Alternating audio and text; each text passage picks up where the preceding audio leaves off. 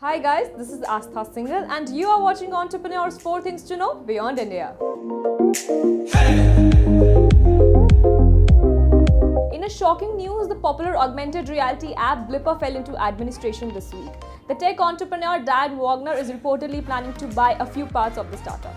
Battling the accusation of misleading multinational banks, the Huawei CFO Meng Wanzhou has been granted a $7.5 million bail by the Canadian court. GlaxoSmithKline joined forces with Pfizer. The two rival pharmaceutical companies are set to merge in a joint venture with a prospective joint sales of $10 billion. Facebook doesn't seem to be learning from its mistake. According to a latest investigation, the social giant has authorized Spotify and Netflix to read and even delete users' private messages.